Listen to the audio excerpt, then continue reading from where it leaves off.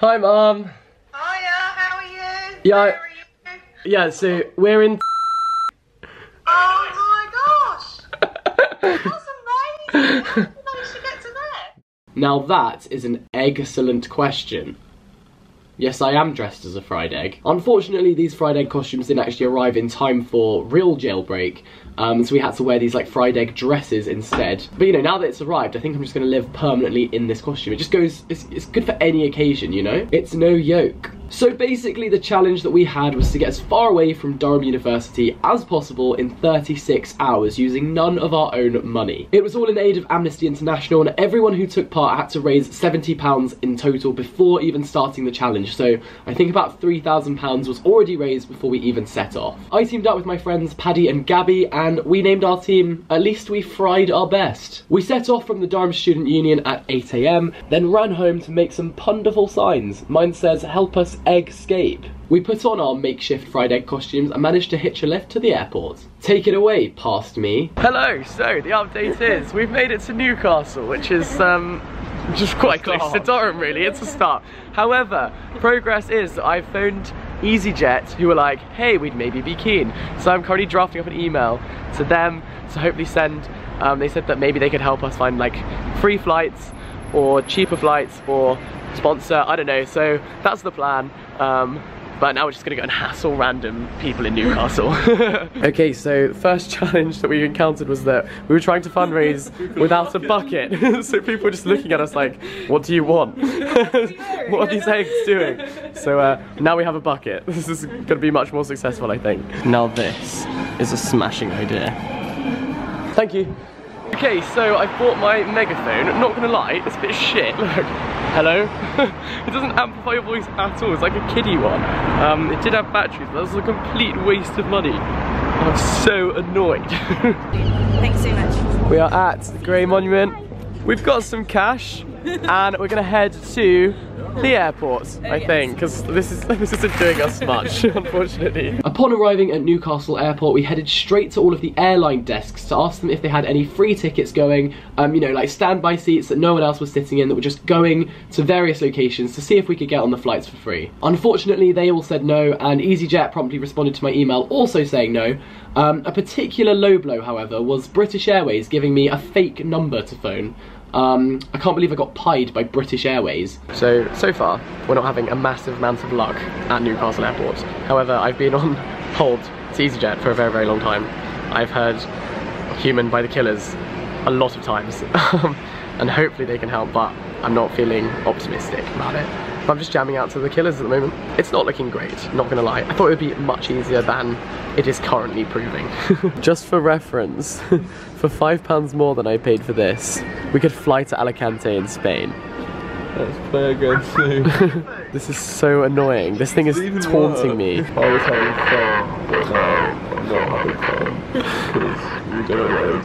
I agree, I agree. This is going terribly. So, in a sudden turn of events, we've somehow managed to fundraise um, 100 quid whilst at the airport. Um, one of the other teams was here a minute ago, but they bet their money online and then won the bet and are now on their way to Spain, which is so annoying. But I think we can probably get to somewhere, but we might only be able to get there tomorrow. So we're trying to work it out. We might have to do a bit more fundraising, but no one at the airport is being is letting us. Paddy's gunning for a night out in Newcastle, which I feel like is not that charitable. I'm feeling. but um, I think we're going to have a look online and see where we can get to with 100 quid. With 100 pounds raised, we could have flown to Malaga or Alicante or Faro, um, but there were already teams in these places, and so we thought we'll always just be hours behind them, and we couldn't possibly beat them if we did that. So we decided to stick it out and play the waiting game, raise more money, and try to fly further. So currently, we can almost afford to fly to Cyprus, which is 2,133 miles away. Currently, I think we're the only group who are actually this close to Durham still. However, it's a marathon, not a sprint. We'll get there. We're coming for you, Cyprus, eventually. However, we are debating continuing because this flight is not until 8.30 tomorrow morning, which it, it seems a bit pointless when we're like hitchhiking to just sleep in our own beds tonight. So I'm thinking we might go to Edinburgh and see if we can fly even further. We'll see. Then a family on their way to Lanzarote came and sat next to us in the airport. Bemused by our rather excellent costumes, um, they originally gave us just a few quid, like a bit of spare change that they had um, for the cause. We got talking, um, chatted to them for ages actually, just about our trip, uh, their trip, um, all sorts of things. And then as we got up to leave to go and continue fundraising, they said to us, well, how much more do you need? And we said, oh, well, we need £30 more in order to afford a flight to Cyprus. And um, the guy said, here, I'll pay it. And so we were absolutely ecstatic. Um, he gave us the 30 quid in cash and then we could head over to the desk and buy our flights, which was just such a relief. We were so, so elated. Um, and yeah, this is where the, the, day kind of began to change a little bit. Okay, so um, we've had quite a few, we made a GoFundMe basically, and we've been sharing it on social media, and we've got a few people to donate to us. Also, some people in the airport took pity on us and gave us quite a bit of money, which is so, so nice. So, we've been looking at flights to Paphos in Cyprus, and then we're thinking of going somewhere a little bit more exciting from there, which we think we might be able to afford. We'll see how that goes. Uh, fingers crossed. Watch the rugby. Bit of spoons, watch the rugby. Jobs are good and best of both worlds. Sounds like a plan. so, flights to Paphos in Cyprus are booked. That's about 2,100 miles um, under our belt. So that's a good start. Um, and now I think we're going to hitchhike home because that'll be more fun than just getting the metro, won't it? 100% more fun. Note, it was not a good idea. So um, we're hitchhiking. We just realised there's nothing to tell anyone that we're um, actually trying to get a lift. So we were like panicking, like, oh no, we haven't got anything. This is a whiteboard. Like, we can just rub it off. We're gonna write Newcastle on this. The good news is we now have a sign that says Newcastle. The bad news is Paddy bought crisps and they're Brussels sprout flavour. What were you thinking? You know how crisps are normally nicer or different from the thing that they report to be? This is Not- just as grim. Not the case. It's really not. They're, they're even slightly green. Genuinely, I'm not even joking. That looks fluorescent. Worst purchase of that. Apart from the megaphone, worst purchase of that so far.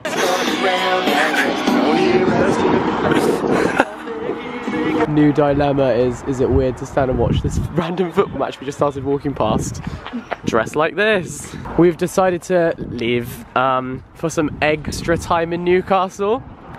Hey, thanks guys. After about an hour of walking and no cars at all stopping for us, we came across a Toby Carvery. Now this was a bit of a low point in the trip. We'd been walking for ages, no cars were picking us up, and so I had a genius idea, I thought, um, because I noticed outside Toby Carvery they had a sign that said you could get a Toby Carvery delivery to your house. So I went into Toby Carvery and asked the person working behind the desk that if we ordered a takeaway to the house that we were planning to stay at, would we be able to get into the back of the delivery van and hitch a lift to the house? Suffice to say, they said no and sent three very sad fried eggs on their way. Um, and then we walked for another two hours. Goodbye, my lover. Goodbye, my friend. Not you, Patrick. We've got a bit D of E. Um, bit of freestyle over here. We've got a bit off piste. Unfortunately, we had really banked on the fact that someone would see three fried eggs walking down the road and think, oh, I'll pick them up and take them into Newcastle. I'm heading in that direction anyway. No one did. So most of our journey took us through this weird field with just cow pat everywhere, um, and it got dark very quickly. We're just walking around in the dark. Um, this was really not a highlight of the trip. So after our gold DV, we've made it to Beth's house. Beth is putting us up for the night. Thank you so much. I actually met Beth in uh, Thailand on Khao San Road and we had a Thai massage together and I have seen this girl be bent into all kinds of shapes. So we're actually quite close to time right now but we are heading to Spoons for some rugby And some food. and some food, we're starving. After our trek we deserve it. There she is. I'm so excited. I've been waiting for you my love. Paddy, how happy are you on a scale of 1 to 10? I'm honestly, I think I'm the most happy I've been all year. I'm actually close to tears. So we have beers and burgers. I'd just like to clarify that this is something we bought with our own money. This is well deserved, I think. Despite the fact that we haven't really gone anywhere yet. Well, Spoons has been my favourite destination of the trip so far. Okay, so, update. Um, I've just had a little DM on Twitter. By the way, we've come back to um, our friend Beth's house. Um, just had a little DM on Twitter from Betty, whose mum wants to sponsor us 100 quid um, and could literally change this entire game. She runs a website called Emma's Kitchen, who I think do something to do with teaching people who are going to uni or students and that kind of thing how to cook, which personally I'm like, right, sign me up right now. Um, but this could be incredible. I'm very excited about this. Emma's mum has got it going on. Thank you so much. Are you ready? Let's go. I just put out the me, Jill and Millie. Oh! Yay! Flights booked! so, um, we are getting into bed. We are all shattered, considering we've done pretty much nothing. We are so exhausted, but um, it's coming up for 1am. We're gonna get up at 6 and head to the airport as soon as we can. Um, hopefully not walk it this time, but we'll see. So for now, I'm gonna go to bed. Good night. Good morning. Um, it is currently like approaching 6.30 in the AM, not the PM. We are on our way to the airport again. Obviously after 24 hours now of jailbreak happening, we haven't gone anywhere, but that is all about to change. Um, I'm hoping that the other teams are feeling very smug in Malaga and Alicante and York and Leeds and Coventry and then we're just gonna suddenly blitz it on our way to Cyprus today so um, that's where we're heading. We've ditched the buckets um, because we thought that's not going to be easy to get on our Jet2 holidays flight. We've ditched the whiteboard, we've ditched the, the banners and we've ditched the Brussels sprout crisps. The, um, Mac, megaphone. Oh, and we've also ditched the, we've also ditched the megaphone. That is the plan. We all feel a bit like death, but it's an, for an exciting reason. So, um, I for one am excited. There she is. We used the money we had remaining to get the metro to the airport, which was much, much quicker by train than it was by walking, and headed onto our flight to Paphos. Oh my god.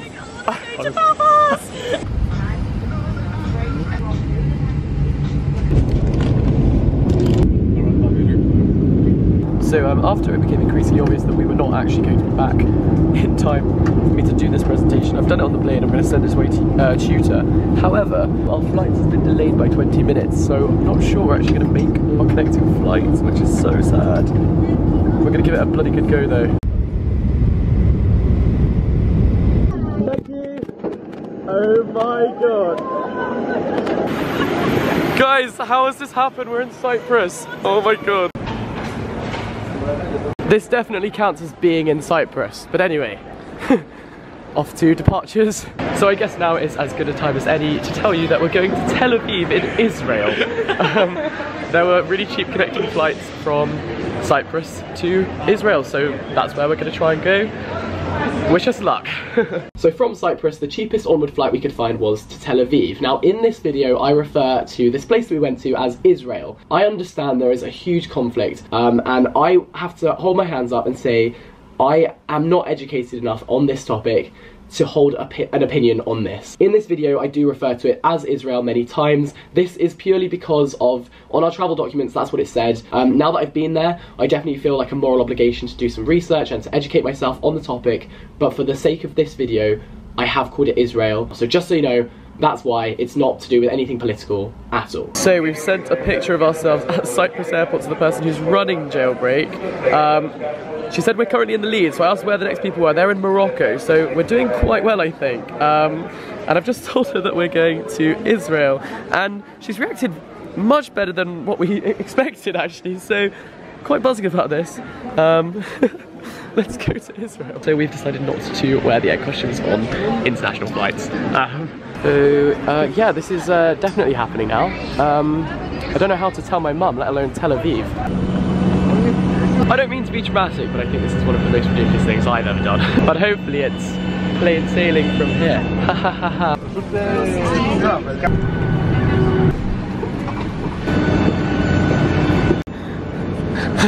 Oh hey strangers. wow, this airport is beautiful. Oh my god. This is crazy. We're not in Newcastle Spoons anymore. Guys, we made it to bloody Israel. We've smashed that. We have smashed that. what the heck? This is so cool. This is so mental. Um, now what? Okay, so we've made it to the metro station at the airport. We actually booked a hostel last night because we were pretty sure we were going to be here tonight, and we weren't sure if they would need to know like where we were coming to stay. Um, we didn't really want to get like deported straight off the bat. Uh, we kind of wanted to at least spend some time here. So uh, yeah, we're going to spend the night here. The first challenge is just finding where on earth we need to be. Oh, Interchange station, so it's one stop. hey! Oh, one stop. Oh, dream. Good stuff. Hey! No way! The tubes are double deckers. I'll go top deck. We have got to go top deck. Like This is so cool. whole childhood if I didn't go top deck. I can't believe this exists. Here's our hostel. This is cool. No, uh, I didn't buy any drinks out last night because that's well and truly cooked from Creek. Hello. Hi, Mom. Hiya, how are you? Yeah, Where are you? Um, we're in Israel. Israel. yes. yeah. Israel. Yeah, we're yeah, so we're in Tel Aviv. Oh my gosh. Oh, well done. Thanks, Mom. That's amazing. How did you get to there? This is a good question. Uh, so jailbreak ends in like the next 10 minutes. We have no idea. We think that we're winning, but we don't know. I really hope that we are. I think we're definitely like top two, top three. Um, but we'll find out very, very soon how it's gone. Oh, hello. I'm in my happy place. This is yeah, this is a good this is a good place to be. So we've just found out that we won jailbreak, and I feel like this is the only appropriate way to celebrate. Cheers, guys. So um yeah, we'd made it to Tel Aviv, which was crazy. It's something that none of us expected when we set off. Um, but so so so cool. Like I said, somehow we did manage to actually win jailbreak. Other teams got to Morocco, Spain, France. Um, some got to like further south in the UK, so we were buzzing to have won. I'm just, I'm so elated still. We'd decided since we'd got all the way to Tel Aviv that we might as well spend some time there. So we spent a good 24 hours just exploring the city, really enjoying it. Like we got to see so many cool things, have some amazing food, particularly shakshuka and hummus. Oh my god, amazing! But yeah, it was just a really, really nice trip. Um, so we then paid our own way home. We got um, a flight to Istanbul, then another flight back to London Stansted a coach to London King's Cross and then a train back to Durham. So it was quite a long-winded journey home, but so, so worth it. I just wanted to say a massive thank you to everyone who donated. I'm going to put all of the names of the people who donated on the screen now. So thank you so much to every single one of these people. You are amazing. I really, really appreciate it. And you made Jailbreak such an incredible experience for me. So thank you, thank you, thank you. So Jailbreak took us 2,300 miles away from Durham, um, which I would say is an absolute success. If you thought this video was